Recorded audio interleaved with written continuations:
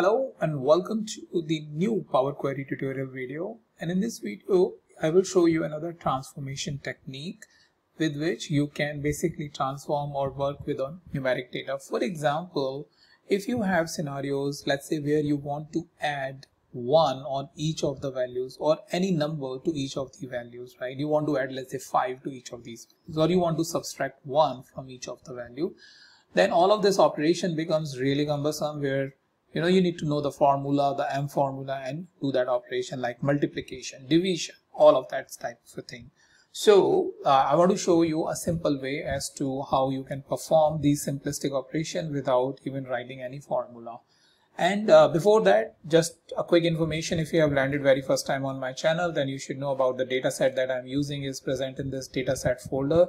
So the link for dataset is present in description. With Within the dataset, uh, you need to come in Power BI and the data set is this one which I'm using, right?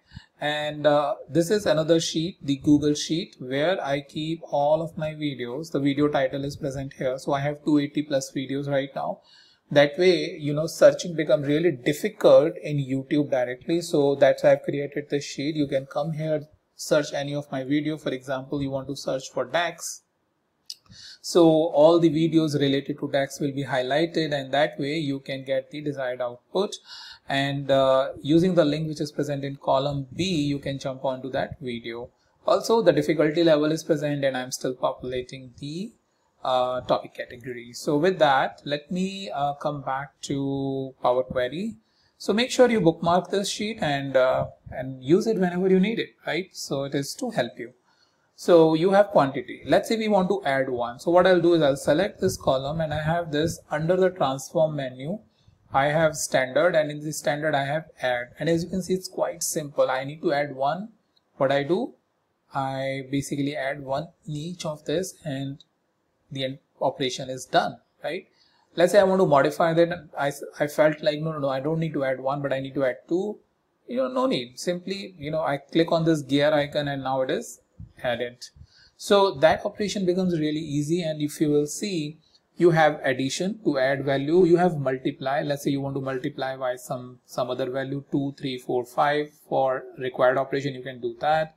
You have subtract, divide, integer divide, you have modulo which is nothing but the remainder of the division you have percentage you want to calculate a percentage especially in those tax taxation sort of a scenario right? Or a growth percentage and stuff like that if you want to apply on that and you have percent of calculation which is a percent of whatever value which is present. So it's like 20% of 11 will what will what it will be. So all of that becomes really easy. You simply click over there specify the value and it will give you the output. So that's something which I wanted to show you the standard uh, mathematical operation, how you can easily apply. Rather than searching for a column, searching for let's say m function or function, you know, which, which will give you the desired output. Rather than that, you can basically get a use of this uh, inbuilt functionality and get the desired output. So that is something which I wanted to let you know and hope you will going to use it. If you have any question, let me know and I'll help you figuring out this uh, uh, you know your particular scenario if I can if I'm uh, aware of that so with that thank you so much and I'll meet you in the next video with a new topic